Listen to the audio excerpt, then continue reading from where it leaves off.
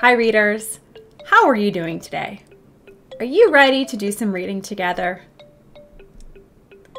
We will be doing some spelling to complement our reading. Materials! For today, you only need your thinking cap. Go ahead and strap it on tightly. Here are today's two learning targets. I can read the high frequency words yes, do, and much. And I can segment, blend, and spell closed two syllable words like dish rag and tunnel.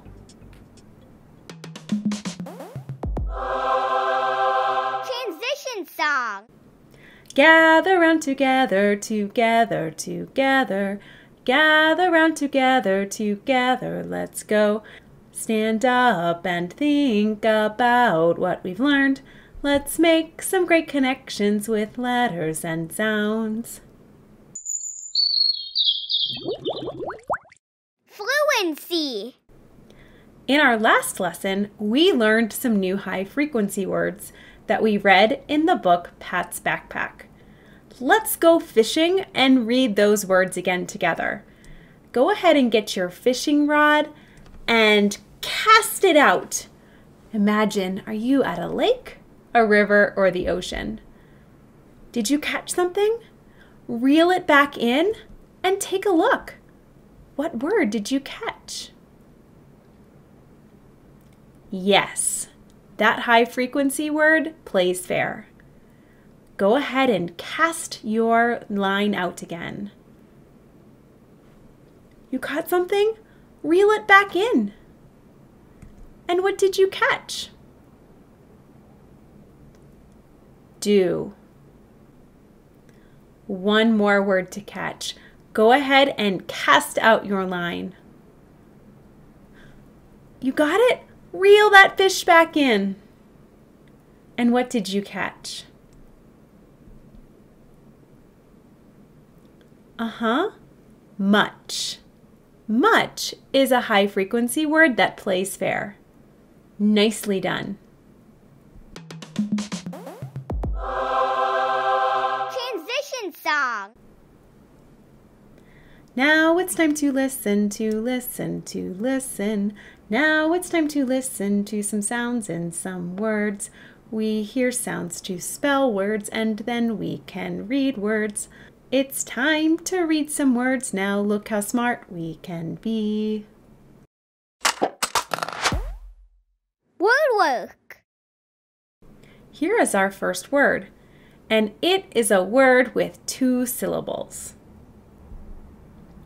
Let's look at each syllable at a time. Here is the first syllable. Let's tap out the sounds in this syllable together. D, ish, dish. You've got it. How many sounds did you hear in the word dish? That's right, there were three. The S and the H are a digraph, and they work together to make one sound. Let's put the three sounds in our first syllable into sound boxes. You can point to the box while I tap out the first syllable again d, e, sh, dish. Nice job. Now, let's look at our second syllable. Can you tap that out with me? Er, ag, rag. How many sounds were in our second syllable? That's right, there were three. Let's put those three sounds into our sound boxes now you can point to the box where each sound belongs.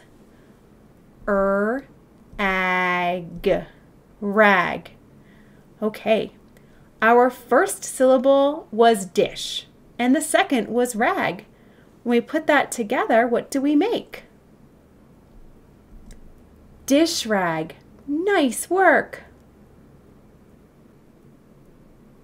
Let's look at our next two syllable word.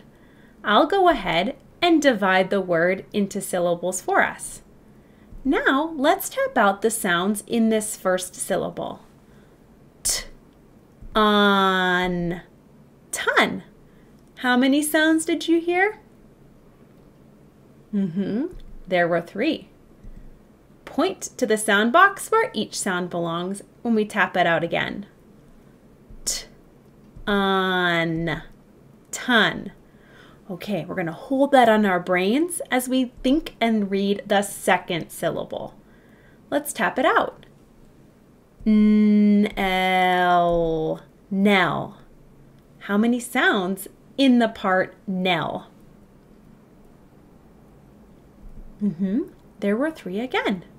Let's put them in our sound boxes. Here we go. N, L, Nell. All right, we have the part ton and then the second part or syllable Nell. Tunnel. Tunnel. Nice job decoding that two syllable word. Closing reflection. Fantastic work today, readers and writers. Let's think. How does segmenting a word and then blending the sounds back together help us think about each syllable? And how is that helping you to become a better reader? Nice job. Remember that decoding each syllable at a time can help us to then put the word back together to decode it. This week, keep working on finding those high frequency words yes, do, and much. What a lesson! You worked so hard! I'll see you again here soon for our next time together.